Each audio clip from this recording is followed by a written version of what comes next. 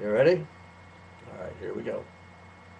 Now, this is a recipe, time tried and true, for chuckwagon coffee, a buckaroo's brew. Use water and coffee in equal parts. Then set on a fire, that's how the deal starts. Boil hard for two hours, then into a toss, a well rusted shoe from a club footed hoss.